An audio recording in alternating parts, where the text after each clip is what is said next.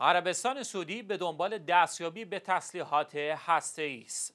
مرکز علوم و امنیت بین الملل آمریکا با صدور بیانیه‌ای اعلام کرد عربستان سعودی در صدد دستیابی به فناوری تسلیحات هسته‌ای است. این مرکز در بیانیه خود که با عنوان عضوی جدید به باشگاه هسته‌ای میپیوندد صادر شده افزود عربستان سعودی در نظر دارد طی چند سال آینده 16 راکتور هسته‌ای بسازد. پیش از این نیز روزنامه نیویورک تایمز آمریکا در ماه می سال 2015 فاش کرده بود که عربستان سعودی نمی‌تواند در جهت دستیابی مستقیم به سلاح هسته‌ای گام بردارد زیرا این امر در بردارنده ضرر و زیانهایی است.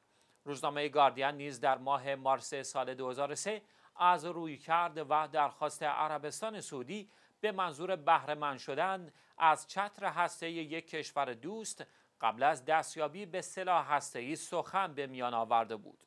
این در حالی است که عربستان سعودی یکی از کشورهای امضا کننده معاهده منع گسترش تسلیحات هسته‌ای است. به گفته کارشناسان خاورمیانه هرچند ریاض وجود هر گونه همکاری با دولتی دیگر در زمینه هسته‌ای را تکذیب کرده ولی یکی از منابع مالی اصلی برنامه های هسته پاکستان به شمار می آید.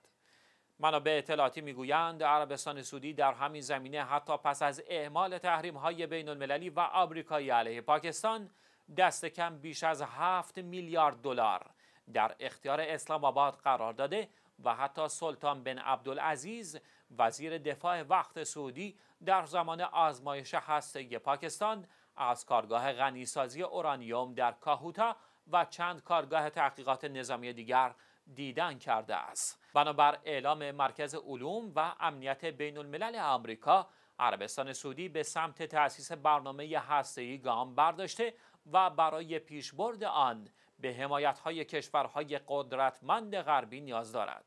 شاین ذکر است انتشار این خبر از سوی مهمترین مرکز تحلیلی ایالات متحده آمریکا سازمان های حقوق بشری را در سطح جهانی نگران کرده است.